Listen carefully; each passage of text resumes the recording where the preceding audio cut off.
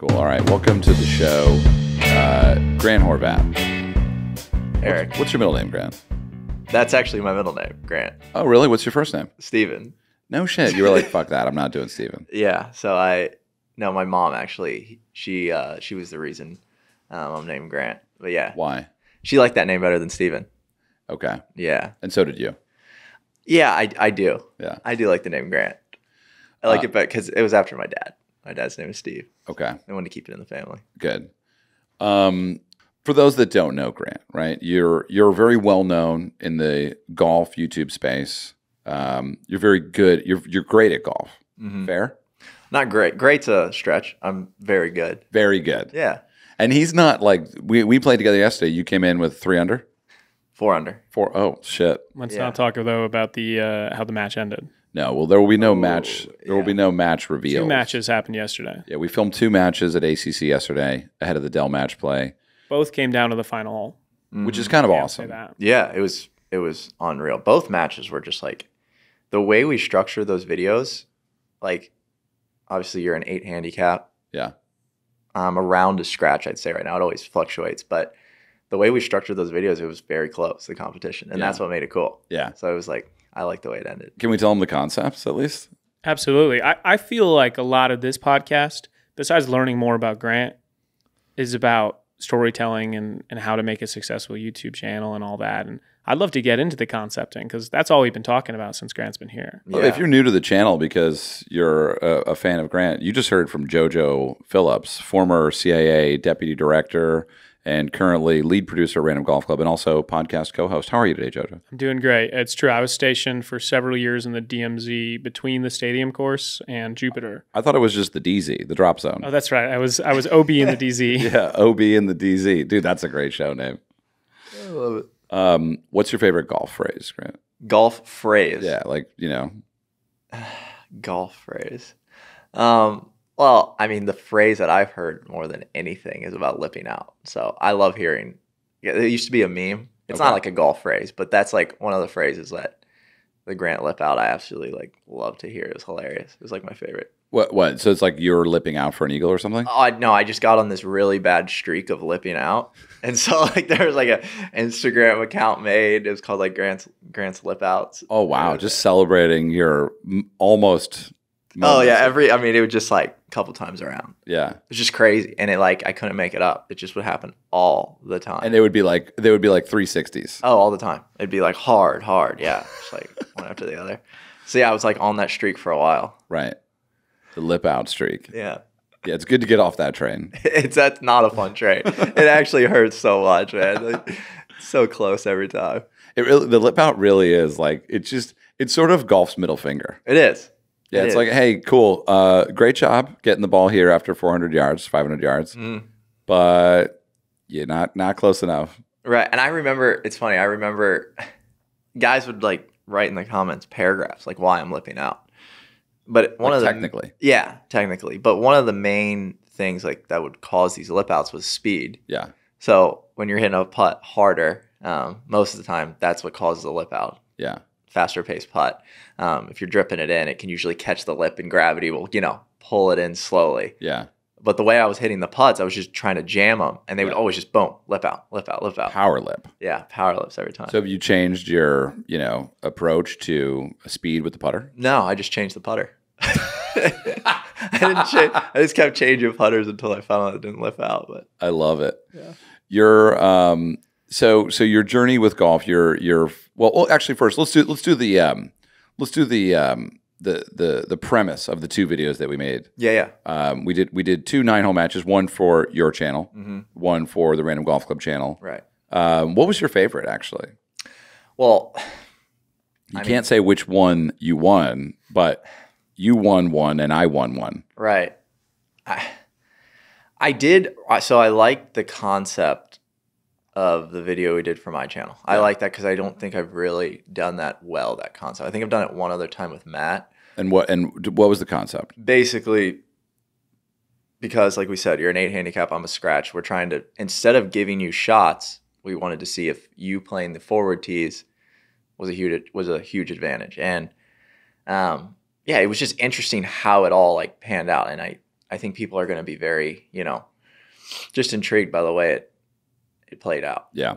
In hindsight, I would love to do that match again and play it differently because I, I could see myself being a bit more um, prescriptive in my tee shots and just being like, all right, here's maximum distance. Like here's here's the here's the point where the return starts to diminish, right? Like I want if I can from here, if I'm 130 yards ahead of Grant, if I can hit a 200 yard drive or, or a 250 yard drive, I'm in the safe zone and I'm ahead of him by 60 yards. Right.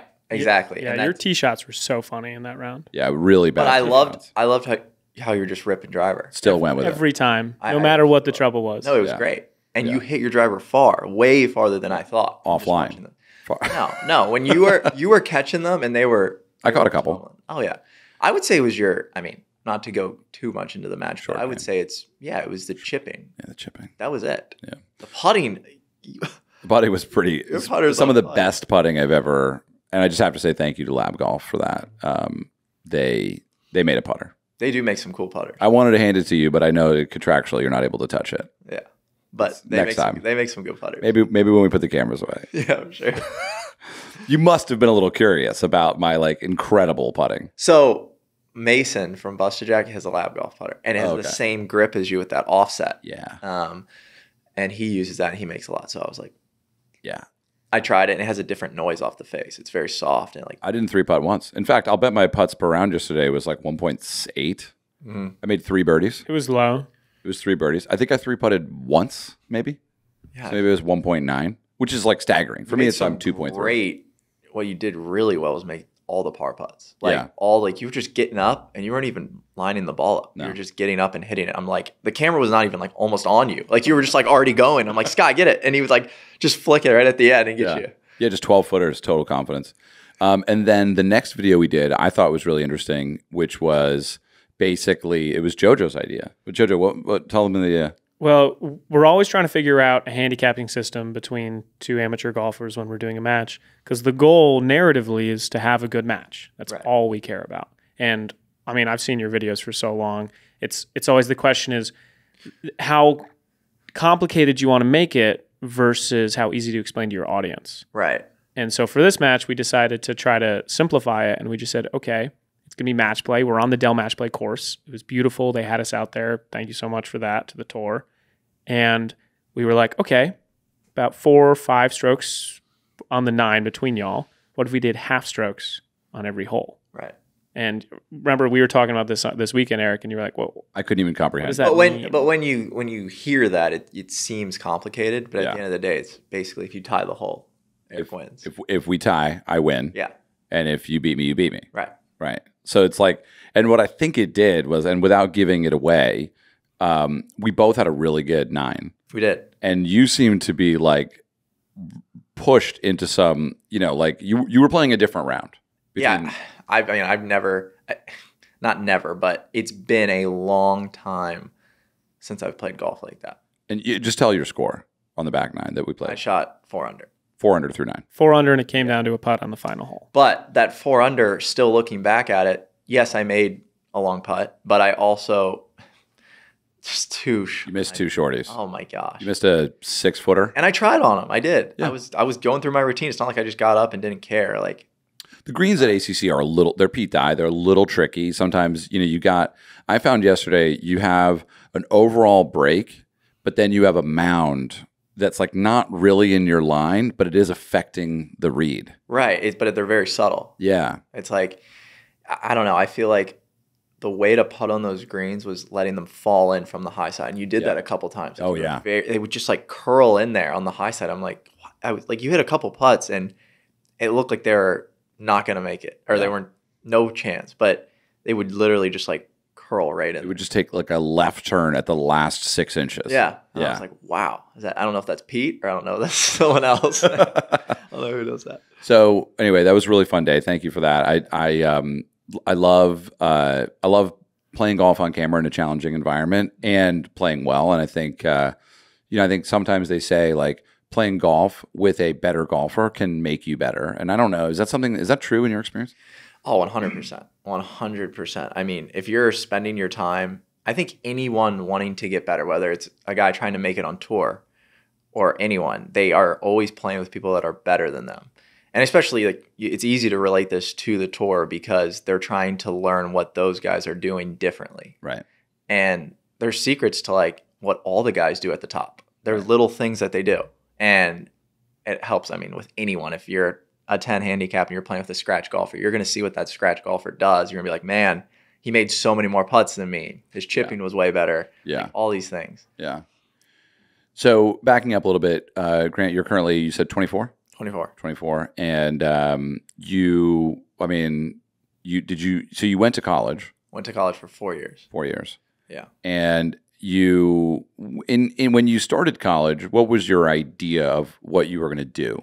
Um, yeah, I had no idea. Um, I mean, yeah, I went four years at at Palm Beach Atlantic, um, and never had any clue what I was going to do, um, career wise. I, I made, not even an idea. No, not really. Your dad operated a pro shop. yeah, my dad was a pro for 38 years. Well, just like he was a teaching pro. Oh, okay, Yeah, so he ran like this entire course up in Michigan okay. um, called Grosse Ile, and he was there for a long time and very like What is it called? Grosse Ile. Grosse Ile. It was on an E island. E L. No, I L E, Oh, and it was on an island. We lived on an island. sick. Yeah. Near where? Uh, it was in Michigan, Like, but what, what island? Where? Uh, Near. Detroit.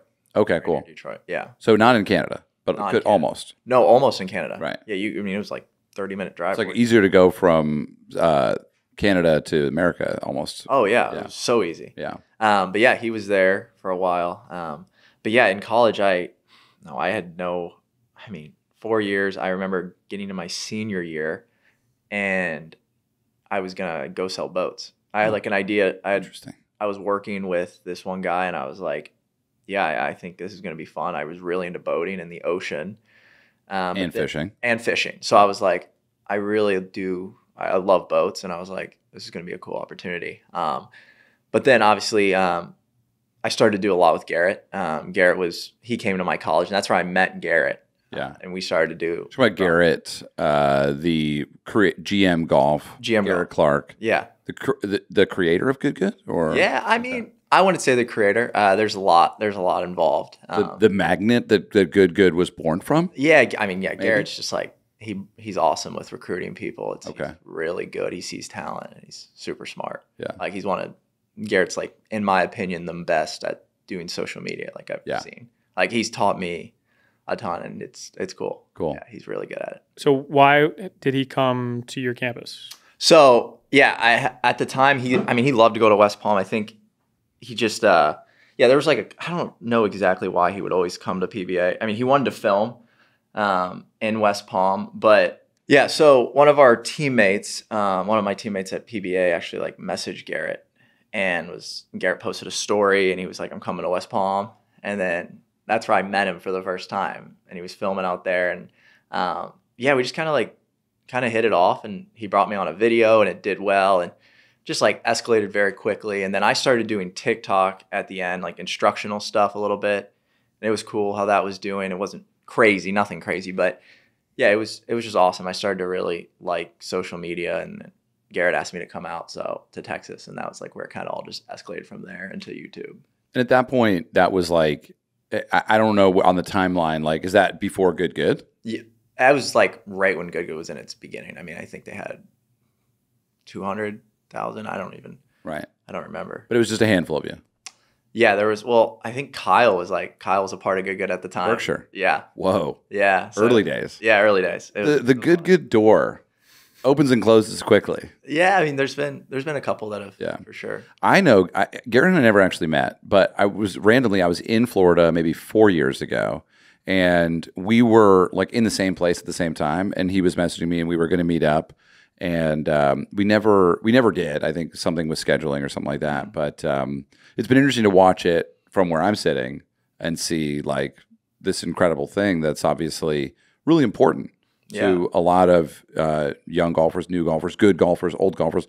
Golf in general, I think it sort of has a, a, a, a sort of a, a new way of looking at the way we play, whether it's like the massive matches or things like that. It's really it's been interesting to watch. Yeah, I mean, Garrett's just like like I said, he's just so talented with seeing people, but then everyone else in Good Good's so talented as well. Yeah. I mean, the whole squad is awesome, and um, they really they really do bring in their own audience, each person, Yeah. which is really cool. So like all worked really well. Yeah. Um, but yeah, everyone's super talented, can talk to the camera really well, and Yeah. entertain. That's like stuff you just gotta like you gotta look for. What's the name of Garrett's like close friend? What was the with the one with the mustache who does the impersonations? Or the the, the Oh, beard? Matt. Matt Matt Scharff. Yeah, yeah. I love that guy. Oh yeah, he's. I love that guy. He reminds me a lot of a younger Dave Fink, actually. Yeah, he's just so funny, and like I love how he's always got his shirt off, and like you know he's just like running around, and Yeah. like I remember when he got engaged, I was like, oh, great job, man. Like we haven't even met, you know what I mean? right. But like I think you know being in the golf content space Mhm. is like there's a there is a shared similarity there of like you know we've gone through the same things, right? Like even yesterday when we filmed together, you were like, man, like how do you get all these carts, you know, or like right. or like wow, you do this like differently than I'm used to. Right. Yeah, it's Um, crazy because it's like, and we're on the edge. Like everyone in this this golf influencer era and YouTube golf era is like on the edge of pushing like the needle into this new, you know, the the way golf companies look at us. It's it's kind of it's kind of interesting because I mean, before before like we all did this like YouTube golf stuff, it, it was never like thought of. No one cared. So like, no one No cared. one cared. Well, in fact, when I got started with Adventures in Golf, I remember like there wasn't a comp. Yeah. There was there was nothing else out there. And thanks to the PGA Tour for like inviting me into this thing that I didn't want to do. Right. Um, but it did turn into something that's like, wow, it's like it's it's certainly valid. Yeah. I want to touch on something we talked about. Did you have something you want to jump into that, or No, Okay, no. I wanted to touch on something. You weren't present to this conversation, JoJo, but yesterday Grant and I were in the cart, and um, you know, LIV came up, and we're talking about LIV, and like you know, we I've obviously uh, intentionally decided to not really get involved in the LIV conversation because for me, um, you know, my top line on it is like, hey, I don't even watch that much PGA Tour golf, Right. so ultimately, do I have an opinion on LIV? Uh, my only feeling about it is that a lot of the players who went there, I know are good people Right. and I like them and they've been kind to me when they didn't have to be. So like I, whatever the powers that be, like I don't know about that. I do know that um, people that I respect have chosen to do it. And so, you know, I just kind of stay out of that conversation because uh, I just don't really have an opinion on it. I'm more curious than anything else. But from a content perspective, you know, we were talking about LIV and how like, you know, millions of people watch a 2v2 match Right. on YouTube, but no one's going to watch this like formatted thing. And I was like, wait, why don't why didn't they just take LIV and treat it like the match with like Bryson and Brooks? Or like why didn't they just package it up into like a editable format where it's like, yo, here's an hour video of the best people in the world playing golf. Dude, you're sharing too many secrets. Sorry. you You might gotta as be well- careful there. Yeah. Jay, Jay, I know you're listening right now. Uh, Jay Monahan, if you want to just turn down the volume. Well, and that's even what's interesting too is Grant. We talked a little bit about the tour and how like it's there. You know, like I've been lucky, right? Like they've basically like snowplowed me into their world. But even within that, it's like it's like impossible to get a media credential, and like it's like, well, I- aren't aren't I not?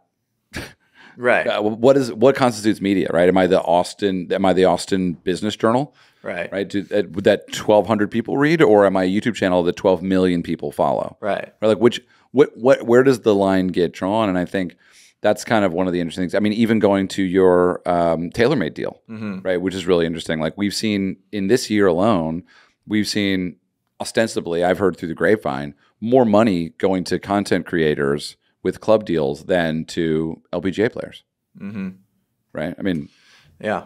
I don't know if you want to share what your TaylorMade deal is, but it's a 360 deal, right? It's like yeah. it's like all the clubs. Oh yeah. It's it's an ball. awesome. They're very they treat us great, and um, they have been. You know, it's it's a great deal. Yeah. So, Barbuti texted me this morning. did he? Yeah, he saw the he saw the clip of us walking down the fairway, and he Oh, was like, "I love that guy." Yeah, that's awesome. Yeah, they've. I mean, Michael and the whole team at TaylorMade is. They've really made the experience really cool. I want to ask you something. So, you know, like, what's really interesting is is is is you take what you love, hmm and you take and you hear the phrase "do what you love, never work a day in your life." Right. Is that true, or like, where are you at? Like, because once you take what you love and turn it into a job, and and it becomes a requirement to produce like a salary, essentially, like. What what are the are there pain points for you that people probably don't even think about? And and please be honest, it's not complaining. Right. Um, yeah, I mean, So first off, I just I love golf. So I feel like that. I feel like someone can't fake that they love golf. Like you either love it or you most of the time don't. Like it's just like one of those sports where it's like um, you either have a passion for it or it's just something you do on the side. Um, and I, I really do have like a, a passion for the game of golf and teaching and learning, you know, about the swing and just everything that goes along with golf. I'm very intrigued by it. So I love to share that um, on camera, which that comes out e- pretty easy. It comes out very naturally, especially teaching videos. Those are like those feel the most natural to me, like when I'm teaching. And I love doing like 18 hole videos where I'm just vlogging and talking. But um, yeah, what was the question again?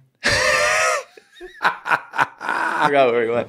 The question was, what are the unknown pain points of Oh, like, yeah. working in golf that Mhm. that that when when when people watch you, they're like dream life.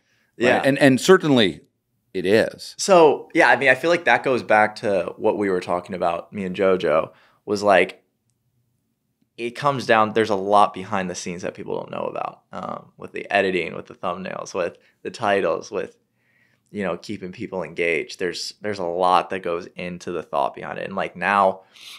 I don't really post a video unless I already thought of like what it's going to look like from a title and thumbnail perspective. Right. So everything's like, you know, I do really think through what content I'm posting, and I'm very selective now. When I feel like when I first started, or even eight months ago, six eight months ago, I would just go out and film and be like, you know, here's a vid. Like it wasn't there wasn't like a passion. Now I feel like, you know, stepping out on my own, there's like a tr- there's like a passion to like really think through each video and make sure it's structured right.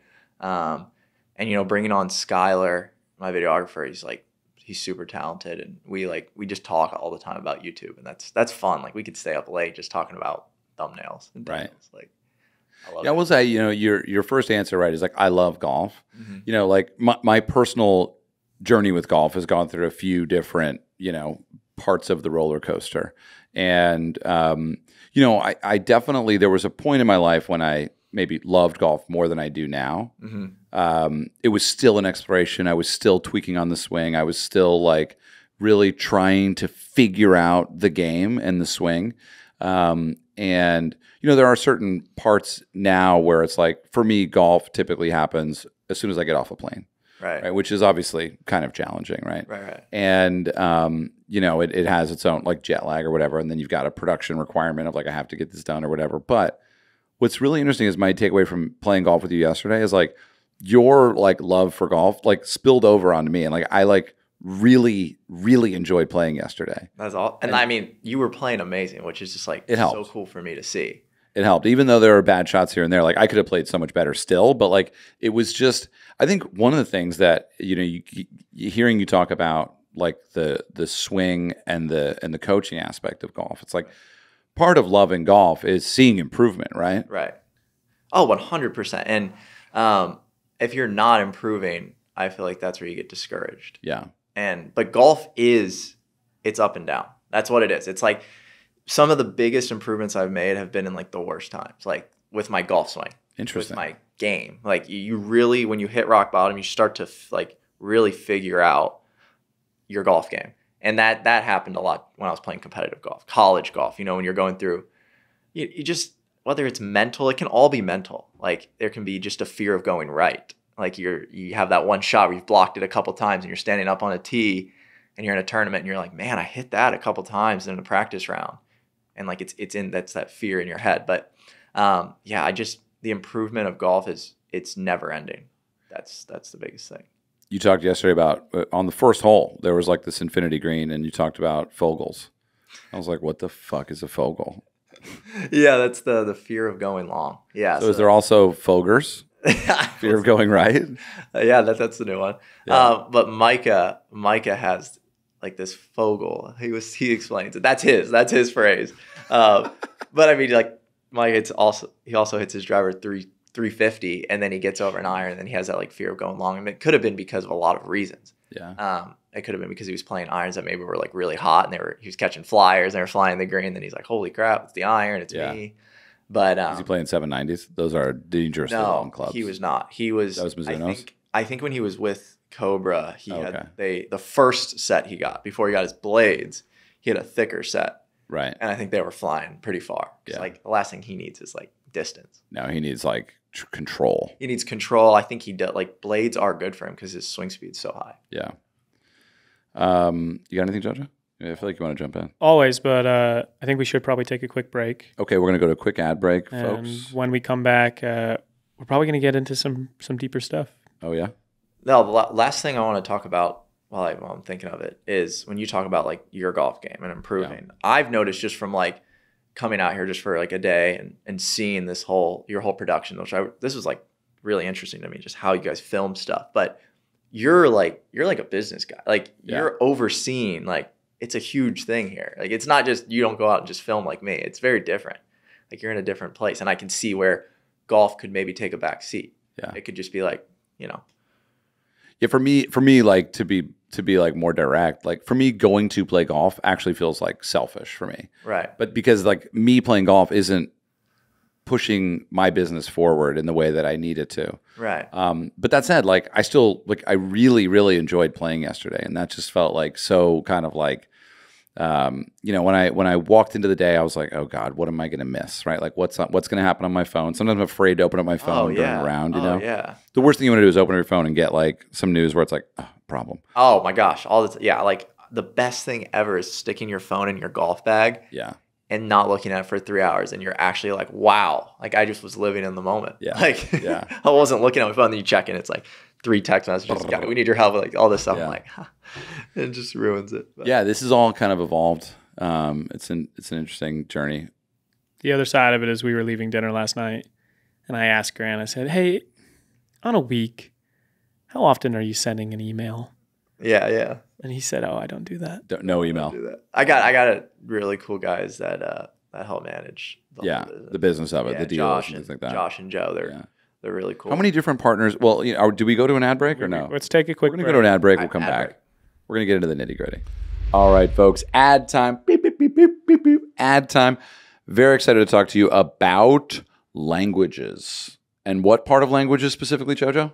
the learning of them. Love learning. I'm a big learner.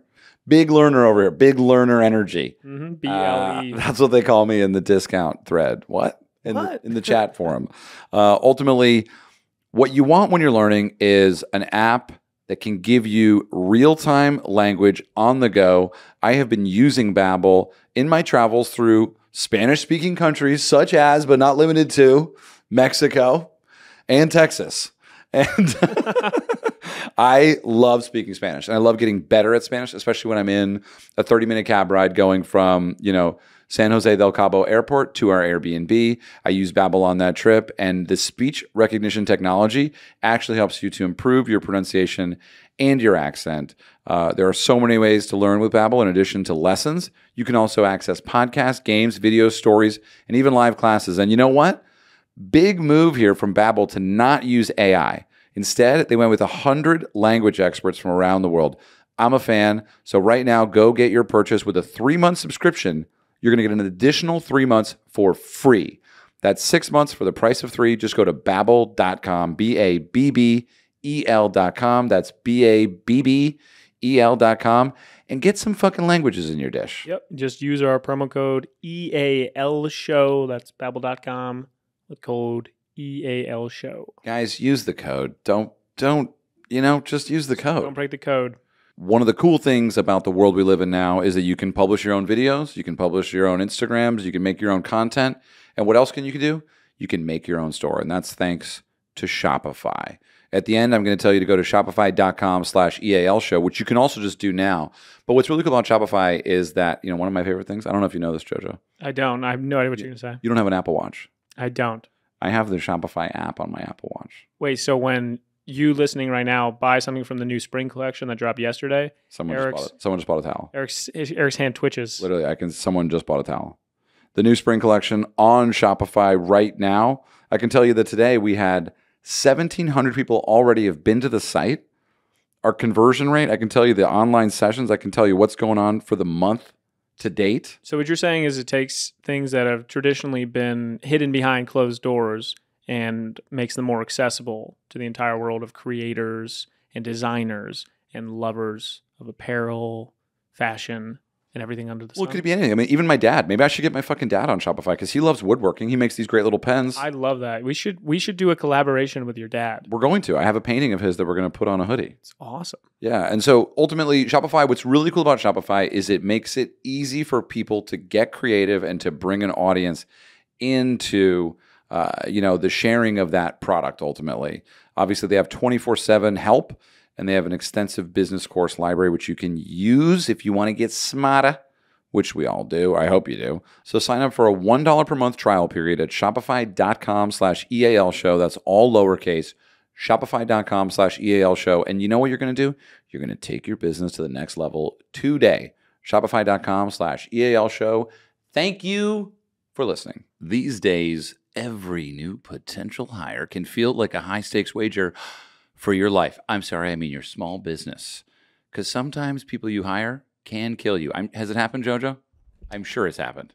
Yeah, we did have one incident, but we're legally not allowed to talk about it. talk about a severance agreement. Anyway, you're going to want to be 100% certain that you have the access to the best qualified possible candidates available. And that's why you should take a deep breath and check out LinkedIn Jobs, baby, because LinkedIn Jobs helps find the right people for your team faster and for free.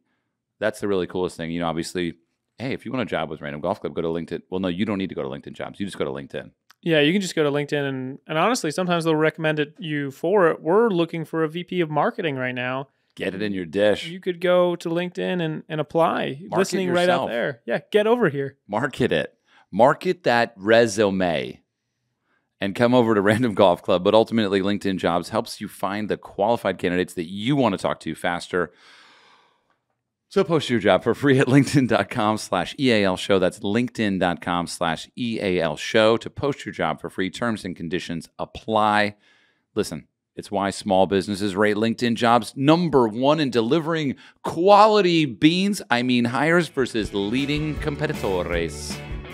Thanks for sticking around for the ad break, everybody. Hope they were good. It was very nice of you. Very entertaining. We, we put a lot of time and effort Thanks it. for your patience. And even if you fast forwarded, you know, I can't blame you. I can't blame you. Although, JoJo and I do put energy into making those things entertaining. We also put random discount codes to random golf stuff in the middle. They're they're coded in a cryptogram, but uh, if you listen back again, you might be able to If catch you it. if you listen in reverse while also playing, Stairway um, to Heaven. Uh, I thought it was Kid Cudi. Oh, then never mind. The code's not going to work this week. Yeah, you just it's all you it's it's a 19 step process that can potentially get you ten dollars off on a Big Mac or or, or whatever. Um, so we were going to talk about um, we were getting. I, I was I was curious to know how many different brand deals do you have? Um, right now, brand deals. So, well, there's there's there's different types because there's the one-offs. Um, there's the ones where you do like one time and you're One offs. like just the Call them integration. one post stance. That's what you call them. no, I'm kidding. One post stance. Yeah, one of those. Yeah. Yeah. Um, or or you have your your longer, Yeah. your longer one. So, yeah, TaylorMade, um, Primo apparel, Cool. um, Goat Lane shoes. Oh, I don't know those. That's what you were wearing yesterday. Yeah, yeah. Those are kind of a casual shoe. I like it. Yeah, and I've been able to d- like design my collection and do a couple drops. Actually, we have a couple more coming. Cool. Um, but yeah, that's been really cool. It's been a lot of like hands-on stuff, and with Primo too, like selecting, like you're in control. Like I'm dropping a collection coming up. With Oh, Primo. cool. And it's all about like the ocean, Sick. which is just like something that I'm super passionate about. Diving, fishing. We got boats on one. Scuba. Uh, free diving. Free to. Oh wow, you're an animal. yeah, so we hold. Your lungs are just like the size of a Minnesota. Yeah, so I I did get into it a lot. Um, I actually took Micah the other day, um, and he like got addicted right away. How long can you stay under? I can stay under pretty long, probably like. It depends. Well, I, I don't know timing wise because it's all relative. Because if you're moving, you're using more oxygen. Your Yeah. muscles need oxygen. So, um, if you sit there and just put your head under the water and hold your breath, that's not a real. I don't feel like that's a real test. So, um, but I can diving like depth. I can hit. I've hit 55, 60 feet. Whoa. Yeah, but that's like I touch it and I'm I'm going. So you're popping your ears when you get to the bottom. oh popping them the whole way down. That's, Oh, but you don't need to worry about the bends because you're not taking any nitrogen. nitro- Exactly. nitrogen. Nit. What is it called? nitrogen. It's Nitrogen, like yeah. Um, so yeah, the bends is obviously created by that. But when you're free diving, Um, You just fire back. oh up. my gosh, like I hit the bottom in 60 feet. I look up and I'm like, wow, that's far. And I just like straight back up. Whoa, that's got to be like exciting. Oh, That's a awesome. ride. But I've also had some some wild experiences where I've been like, I've, I spearfish too. So I've had a one experience where I was like chasing a fish and I like I lost track of like going up for air and I was just like still chasing them and I got when I got up to the top I was so dizzy and like that's when you get close to blacking out Whoa. And, that's where it gets super dangerous. And that's with a that's with a harpoon, That's or with it was a pole spear. pole spear. Yeah, so you like you pull back this band. Oh, okay, it's like a mechanical. Yeah, so yeah, it's funny because in the Bahamas you can't use when we go fishing or when we go spear fishing in the Bahamas you can't use like the actual guns where you, there's spear guns that you just Right. press a button and it just. Um, but I, you actually have to use a pole spear. Dude, I feel like this is a really valuable apocalyptic skill. Because here's the thing: is I'm seeing this as like, as soon as it hits, you're like swimming to the Bahamas. yeah. Oh yeah. Could you swim to the Bahamas? No. What's the you have? What's the, have you ever swam a mile? I don't think so. You could do it. I Those arms, dude. problem. No, Those the problem is paddles, so dude. no. This is what happens. So when you get off Jupiter, Yeah. there's the Gulf Stream, and it runs at like two to three miles per hour. North. Yeah, straight, straight north. So um, these kids actually went missing like a couple years ago. Probably, like, I was probably like six, seven years ago now, even more maybe. Um, and they went out and they their boat in like a couple days, like four or five days, was like way up in like Jacksonville, or like it was nuts. Whoa. Yeah. So Did they? um, Were they? Did they die? oh yeah, they never got found. Whoa. Yeah, they went off Jupiter and like were never found. What were they doing? Uh, they went to go fishing, but I actually was fishing that day. Those kids went miss. We were fishing. Me and my uncle were fishing that day. Those kids went missing, and we came in way before them. But there was a storm. There was a bad storm out there, and they headed right onto the storm.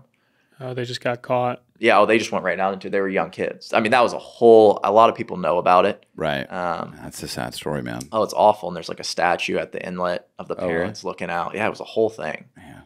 it was awful. But um, but yeah, that's it's crazy. Like when you say like swim to the Bahamas, if I tried to even, so it takes two hours on a boat, but roughly two and a half, two hours on a boat to get to West End from Jupiter. Right.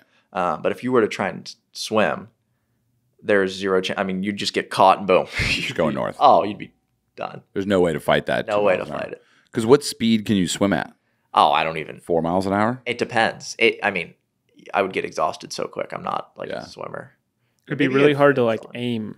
It'd be really hard to tell where you're going. Oh yeah, sure. but Especially in the open ocean. the yeah. fins what the fins i use when i'm free diving down deep are what really they help i mean they're this long so one kick it like flexes and it just propels you fast Sick.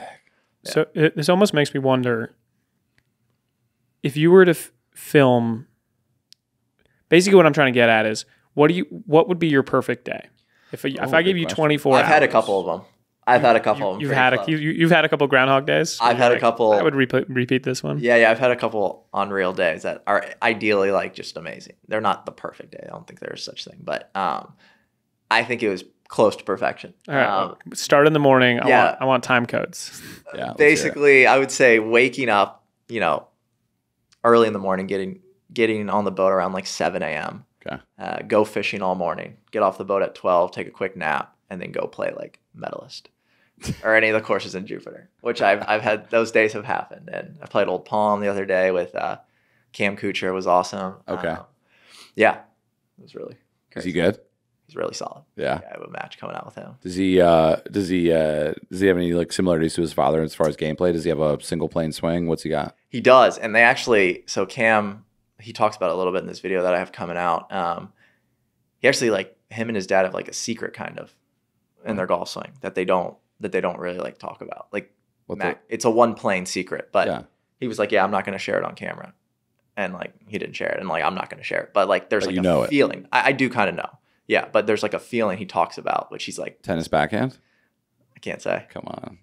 can't say, but uh, Yeah, you don't want to do that. Grant, Grant will show up next week with a pole spear. Wait, I'm dying. I've loved Kuchar swing for so long. Yeah, it's a one plane swing. Just, Just- I mean, there's a lot. I mean, you can look at it. How how tall is Cam? Cam's tall. Yeah. He's, Because you're what, six three, six four? yeah, he's just as tall as me, if not Right. taller. He's Yeah. huge, and he hits it far. Hits it farther than his dad. And does he take it back all the way? Oh yeah, Yeah. yeah. He's great. I mean, he's so solid. You know. I, I um your swing, did it evolve over the years? Because you have a Oh. really nice swing. 100%. You have a really nice swing. You just kind of like just kind of like It seems like you're just slapping the ball Yeah, no, my in a swing good was- way. But yeah, my swing was not good. Like when I first started, it was it was horrible. Like, Interesting. It was, it was awful. I did not understand on You were taking it back inside. oh just everything. It was horrible. Like I didn't know how to turn. My body wasn't working. I was flipping, stalling, like the worst golf swings growing up. Like I need to post more videos of the old ones and like the progression. Yeah, I want to see it has been crazy.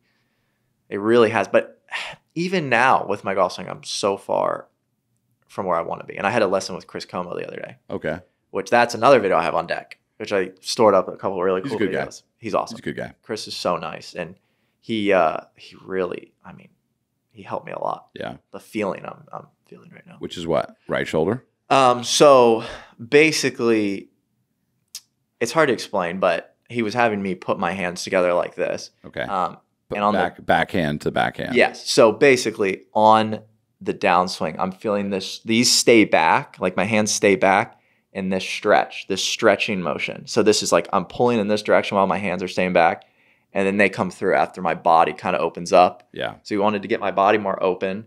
Um, but yeah, and I wasn't like stretching my muscles at all. Like I was just, I get really like steep sometimes and just flippy and handsy. yeah, Uh, but he was actually starting to like stretch and make me use my big muscles and like rotate. yeah, And it just felt like when you did it right, it was like sequenced up so good. yeah, And he's just a smart guy. I mean, he knows so much more about the golf swing than I do. yeah. Um, and It's funny how like the best golf lessons are not about club path or face angle, but are more about your core and your weight. right, And it's so interesting because like obviously there's a certain transition point when it's like, okay, beginner, right? We need to talk about some things.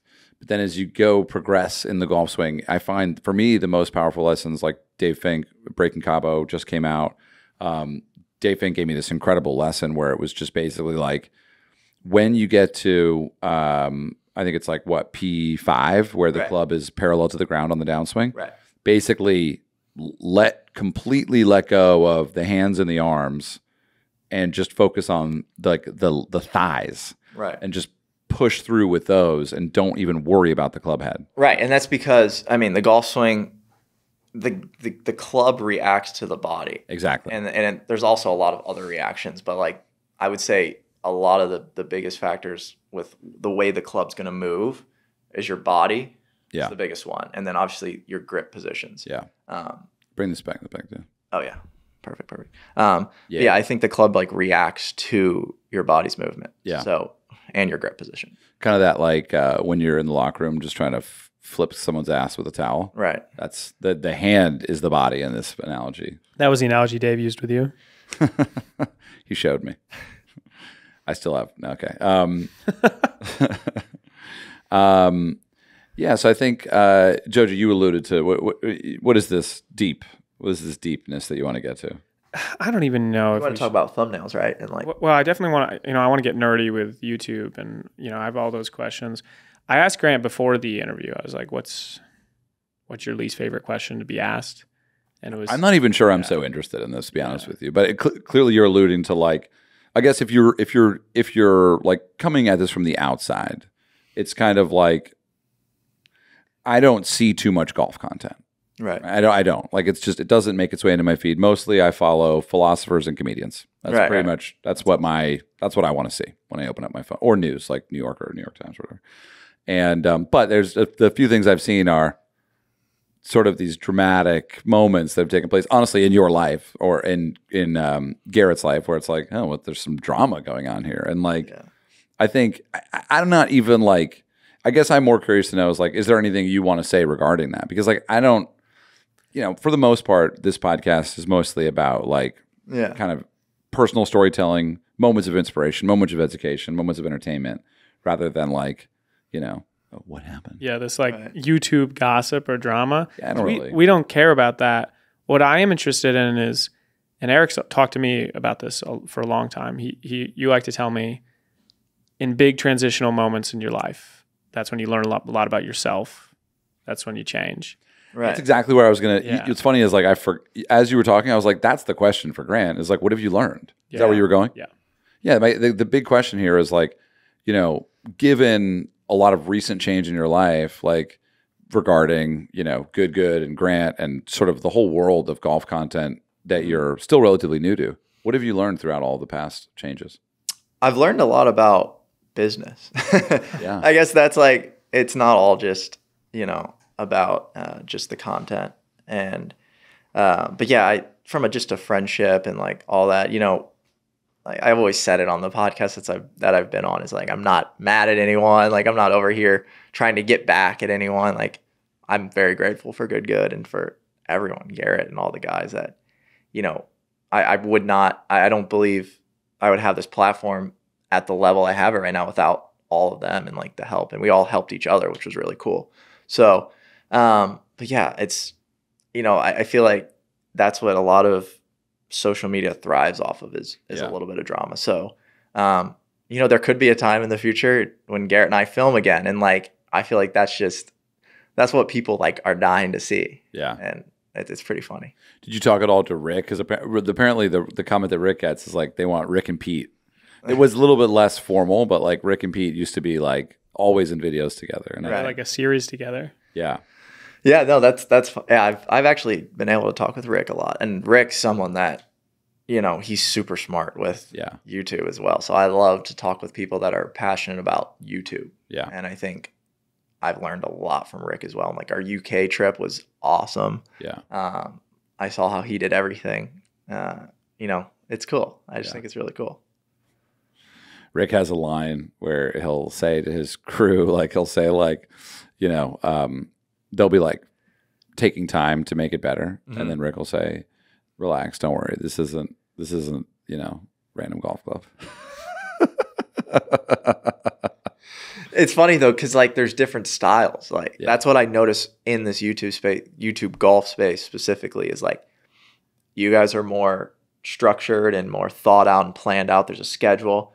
I feel like you know what I've been used to is more spontaneous. Like Sure. just show up to the course, like, all right, what are we filming today? Like let's let's think of an idea, boom, let it go. Yeah. And then just fly. It'd Yeah. be so funny to take Grant on an adventures in golf shoot. oh, I would love that. Drop him in Bulgaria. You know, we could do. Um, we could do. There's a course in St. Thomas. Have you heard of it? No. Mahogany Run Is that St. Thomas's only course, and it's closed. is that in the Virgin Islands? Yeah. No. Yes. St. Thomas. Yes. The bird. Yeah, yeah, yeah. So you've Yeah. traveled a ton to play golf. Yeah. You've played all over. Bingo. That's amazing though. That's I feel very that's lucky. really cool. Yeah. Like, what- g- golf has been the magnet that's like brought me around the world for sure. oh yeah, golf. It's it's brought yeah. It's exact exactly. It's like my whole life too, and it's like this game has opened up all these opportunities, and it's Yeah. crazy because we all share that in common. It's Yeah. golf. Well, how has that changed? What opportunities do you have now that you didn't have recently? Because I would imagine you have all this creative freedom to get to decide what your channel looks like for the next year. Right. Um yeah, I mean it is it's cool because I would say the time and energy and focus is what is I'm able to like put more into it. And that's where I feel like quality comes Yeah. comes out and obviously improvements. And I'm always improving. Like I'm not where I want to be with my channel. I'm not there yet, but I'm going to get to a point where I'm like really proud of each video that ever is released. And I, I think I'm going to get there soon. Yeah. So I'm like, I'm always pushing to get to that level where I'm like, every video that comes out, production is unreal. The the concept's great. I'm pulling together some amazing collabs, and that's that's really fun to me. Thank you. Yeah. Yeah. I feel lucky to be in. He wasn't, he wasn't talking about us. No, I'm sure he wasn't. Um, I, I- going back to what you said, though, is like learning about business is interesting because, like, you know, obviously, um, I relate. I think what's really interesting about business is like, um, you know, th- there's like when you're basically creating your own stakes, you're creating your own product, Mm. right? You're essentially creating a product, right? And your product is videos or who knows what's next, or you know, uh, Yeah, and I- I'm gonna go into like the teaching space for sure. cool. That's where I want to. I can't wait to see it. Yeah. Um, but like you, you sort of like have this opportunity. My favorite quote is um, uh, by you know Andy Warhol. Mm-mm. So Andy Warhol was a um, he was a an artist who he created a thing in New York called the Factory, and in the Factory it was a bunch of people making art with his name on it. Right. And so it really was like a, a factory where it was like they would do a lot of screen printing artworks of like, you know, it'd be like a famous picture. You probably would recognize his art, but it's like, you know, he would have like a portrait of an artist or of a celebrity, and then it would be like affected. Right. It was like in the '60s, and he had a quote that said, "Good business is the best art." Right.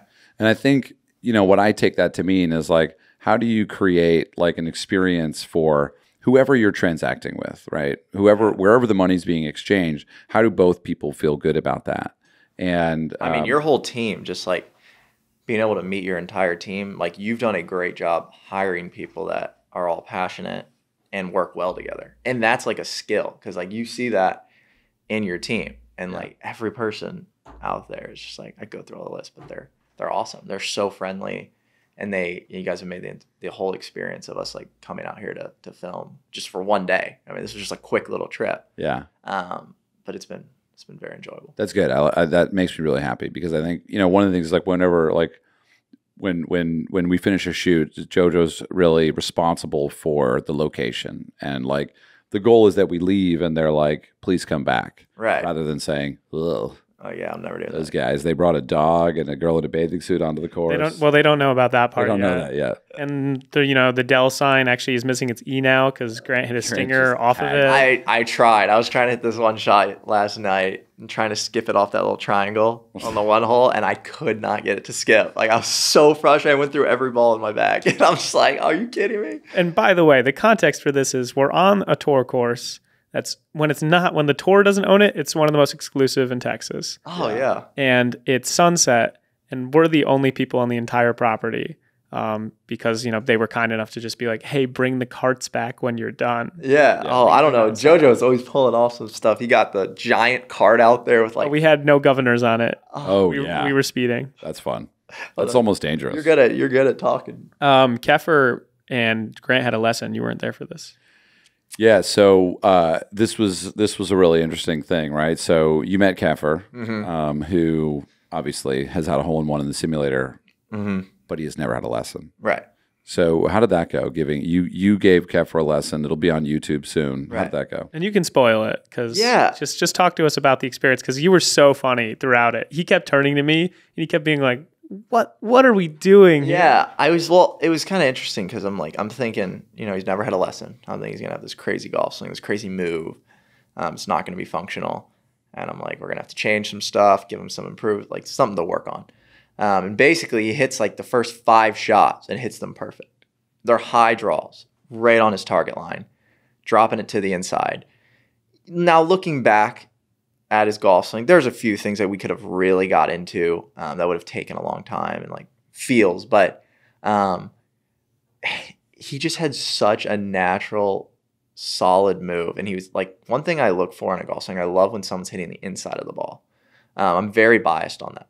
I just feel like, and you hit the inside of the ball. You were always, other than a wedge with like your driver, you draw Yeah. your driver. And I love that because people that are really struggling and swiping across the ball, they're always coming up short. Yeah, Um, divots are usually a little steeper. It's just this usually this whole thing. So I look for, I really do. I'm very biased in that. And I like when someone's hitting the inside of the ball and hitting a, a slight draw. Um, but you can still fade from the inside. I don't want to make anyone think that you can't hit a fade from the inside. power fade, Yeah, exactly. Ooh. Power fade. You're still hitting the inside of the golf ball, Sex- which I love. Sexy shot. Exactly.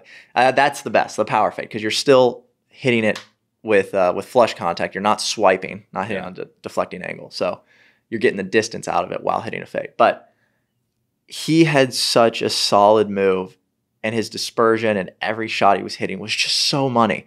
And I'm like, what the heck do you want me to do here? And I loved it. I looked at it on my swing, or I looked at his swing on my phone. It was a solid move. I mean, there's a couple little things we could work on. We worked on, you know, opening His weight shift. not his weight. Um, a little bit of his weight. His pivot was a little interesting because He doesn't. I think one of the things I noticed is that he doesn't really twist. exactly.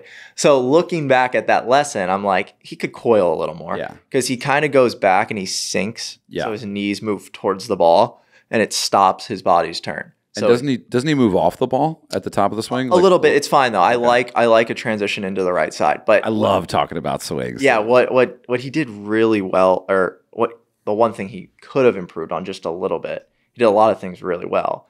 Um, yeah, like like you said, his turn is coiled because when he goes back, his lower body would actually sink towards the ball, and it would Yeah. stop his turn. Lo- 'Cause decreasing his distance. Exactly. And you, and you can't turn back when your lower body's sinking. Yeah. Like you have to get this right hip to move back Yeah. to get your full turn. So you want to see that right hip, like you want to see left front knee kind of bending, back knee going straight. A little bit. I don't. So I'm not a huge fan of the X factor, which is Oh, basically interesting. when you keep that right knee bent and you're creating this this Yeah. tension, basically in your back and in your spine. It's like that X factor is what they call it. Do you like Dahlquist, Dana?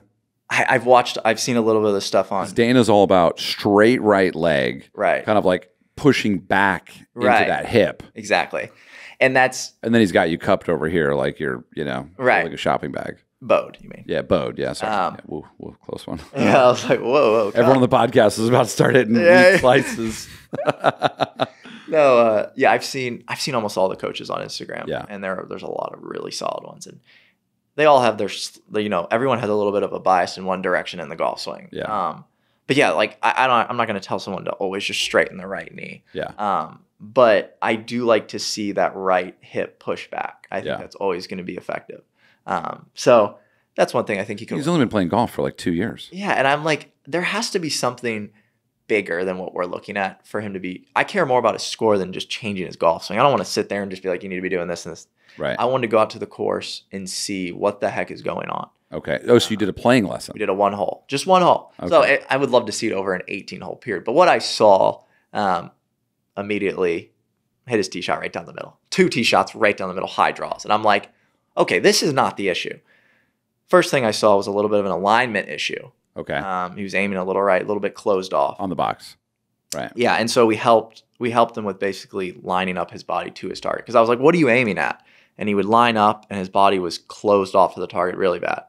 Um, So he was looking at the bunker on the right, but he ended up hitting a bit of a pull draw.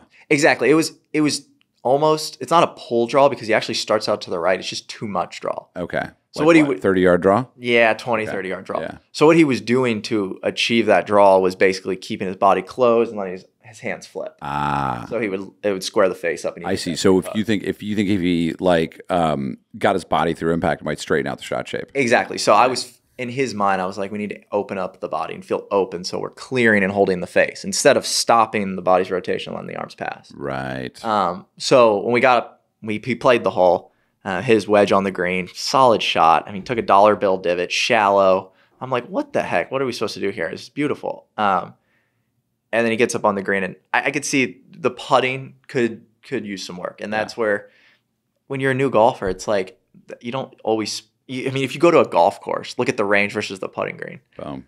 I mean, there's like Yeah. maybe one guy on the putting green that everyone's whacking drivers, and I'm I'm guilty of it too. Like I'm Yeah. I'm talking to myself. Yeah. But um, but yeah. So it's I didn't putting I didn't practice sure. putting yesterday. Yeah, no one does. Yeah. Yeah, it's funny. The um the swing is way sexier. Oh yeah, and it's But when you make a putt, Yeah, but it feels so good. A Yeah. long putt. yeah. but that's yeah, that's my thing though. I mean, would you rather? I'm curious about this. Would you rather hit the ball great and miss every putt, or would you rather hit the ball horrible and drain every putt? I mean, I'm currently living in the latter, right? Where I where I'm currently right. I'm I'm putting much better than I'm stroking, Right. uh, Than I'm than I'm like you know swinging. Right. Um, and I mean, ultimately, like I think, you know, I, I, I maybe what I should do is do an experiment where it's like I'm not going to practice the swing at all, and every round I'm just going to do short chips Yes. and putting, Yeah. because ultimately it's that it's that game of like you can be really confident on the tee box if you know you can get up and down from anywhere, True. and if that becomes and and basically the the tee shot and the fairway shot are just kind of like that's just like opening the envelope. Oh, 100. percent When you read that shit, that's like that's the scoring moment. Oh, and like a lot of the a lot of the commentators and announcers always say, um, the money's made from 100 yards and in, Yeah. 50 yards and in, and that's where you should start learning golf is from 50 yards and Yeah. in. I, I agree. Um, but yeah, back to that question, I just think someone like Adam Scott, for example, who's considered to not be the greatest putter, which he's still a great putter. Like Great he's still an awesome putter. I mean, won the Masters. Like he you made a putt at the. Masters, dude. Yeah, like he's a great putter, How long was that putt? Like twelve feet? I don't even know. Oh man. Yeah, uh, it's just What's your What's your bucket list course? Like, what are you like? I have to play this before I die. man, I, I love the courses. For some reason, I love all the courses in Jupiter. Like, I want to get out to like all of like Grove 23. Yeah, I want to get out to MacArthur. I want to get out to Medalist, Seminole. Yeah. Um, and I got invited to play medalist. Um, Nice. yeah, so I, I I just couldn't make it. So, uh, but yeah, um, but it's interesting, like with the Adam Scott thing. I wonder if he's, you know, it's got to be frustrating hitting the ball as good as him, Dude. and then not being able to Textbook golf swing. like anybody that has, you know, there's those I mean, guys. Rory. Yeah, anyone that's just Rory. amazing. That- What is going on? right. It's hard to watch. Yeah. Sorry, Roy. Rory's putting stroke. You just coming for him? Well, it's just like I mean, the guy can murder the ball. He's like high. What is he? Um, uh, Hyper flexible or hyper something? flexible. Yeah, hyper mobile. Mm-hmm. Like the guy's like an athlete, and then you just get to like in front of like a nine footer for eagle, and you're like, what? Yeah. How's that not? He's. I mean, I feel like he's gotten. He's been doing pretty good recently. I think he's been playing pretty solid. Um, but yeah, he's Roy's Get a lab putter. Yeah, Roy's an insane. Well, that's. I mean, just go. Yeah, anyway, whatever. Rory's on the same team as Grant now. yeah. Couple TaylorMade what's that like? Athletes. Hopefully we see him. Hopefully we'll. Well, that's that's the question for access, right? I mean, are you? Is that something that could happen this year? For sure. Um, I think any of the TaylorMade guys are not off the table, and I don't know. I mean, Dude, that's gonna be amazing. you never know what's going to happen, and and I think just because you're with a club company, I think the better route to go is to form a relationship with them before you shove a camera in their face. Um, and that's been really cool because I feel like I've met a lot of really cool uh, PGA Tour players and Yeah. tour players in general. So yeah, they're probably stoked to hang with you because you're like you can hang with them. yeah, and You could probably give them a run for their money. yeah, Seriously, I mean, like, I don't know. You go to Sawgrass the day after the players. Like, what are you gonna shoot? right. Two under. It's pretty good. hmm Do you think so? What do you, what do you think you'd shoot at Sawgrass? So the day after I- players? It's funny that that concept I've wanted to do a lot. I've actually done it a couple times where I'm like, what could I compete in a PGA Tour event? And I try and play the same tees, and obviously the conditions are not the same, the pressure is not the same. But I mean, I'm playing in front of cameras, like Yeah. so. It, there's a little bit of pressure. Um, but yeah, I, I like to see what I would finish on the leaderboard, and I want to do a video in the future. Is like, would I make a cut and a Whoa. major and like play on a major championship course, and play two rounds and have a live leaderboard update That'd be amazing. where I'm where I'm moving or I'm shifting. It's like a little graphic. I'd love to see that. We could make that happen. Yeah. Um, well, thank you so much for the trip down. Yeah, thank you. I appreciate it. Thanks, JoJo. Thanks, Grant. Thank you, JoJo. Killed it, man. All right.